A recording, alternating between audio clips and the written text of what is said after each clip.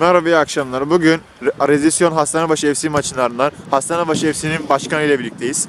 Bugün maçı 9-1 gibi net bir skorla kazandınız. Maç hakkında görüşün nelerdir başkan? Bir maç akşamından merhaba arkadaşlar. Ee, güzel bir maçtı, keyifli bir maçtı. Ee, 9 tane net bir gol attık, kazandık. Arkadaşlar yeni bir ekip. Bugün ilk defa biz de oynadılar. Oynadıklarına da pişman oldular diyebiliriz yani. Bu kadar. Eyvallah, iyi akşamlar. Teşekkür ederim.